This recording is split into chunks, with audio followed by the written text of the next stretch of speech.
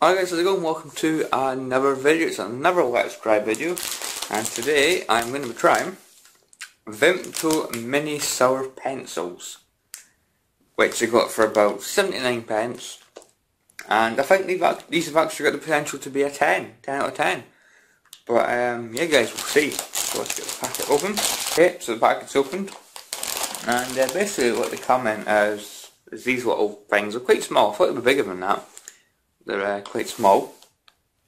Uh, so we'll try about three or something.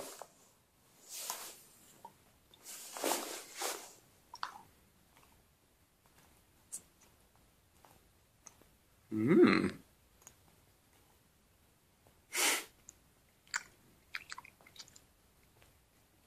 Very nice, really strong Vimto taste. I wouldn't really say that sour. Uh, to be honest, I've tried other things like this that have been quite sour. Uh, I wouldn't actually say they're that sour. I mean, I put three in my mouth, I, I wouldn't really say they're, they're that sour. So we'll try uh, five this time.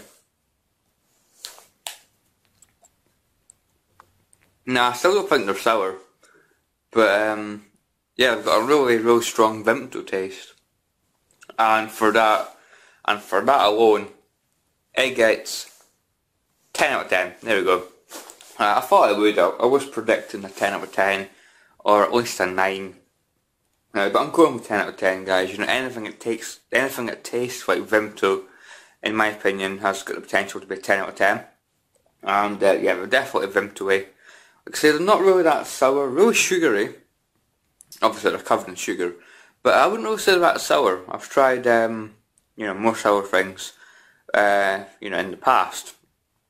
Uh, but they've not tasted as good as that, so yeah, I'm going to give it a 10 out of 10 guys, and uh, yeah guys, thanks for watching guys, if you've tried these, let me know what you think, and I will catch you all in the next video. See you guys, thanks for watching.